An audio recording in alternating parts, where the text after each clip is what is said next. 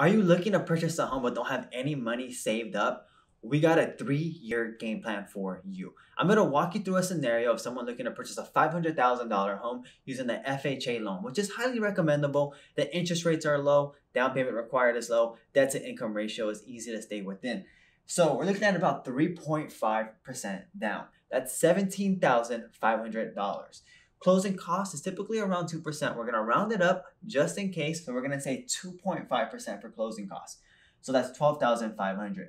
Added together, you're looking at about $30,000 out of pocket that you need to save in order to purchase this $500,000 home.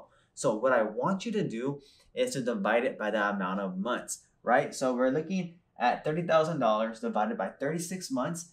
That equals $833.33. Now, if you want to get to this number faster, you might want to explore investing. So let's just say you put that $833.33 over three years at an annual rate of return of 10%, which is since its inception, it, its inception in 1924, the S&P 500 has earned over 10% and in the last 10 years over 11%. So that's $35,108.20. Now, that number is very, very important. Why? What do we know about real estate? It typically appreciates year over year. So, a $500,000 home in three years with 4% appreciation is going to be worth about $562,432.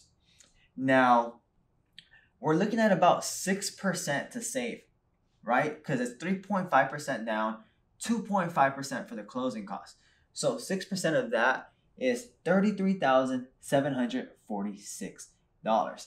Now, the $30,000 that you would save, you put into your savings account, is not going to be enough. However, if it is invested and you get the 10% annual return, you're looking at $35,108.20.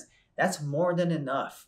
So you might want to explore that option to help you get to the savings required faster. My name is Anthony. If you have any questions, just let me know. And as always, take care and stay safe.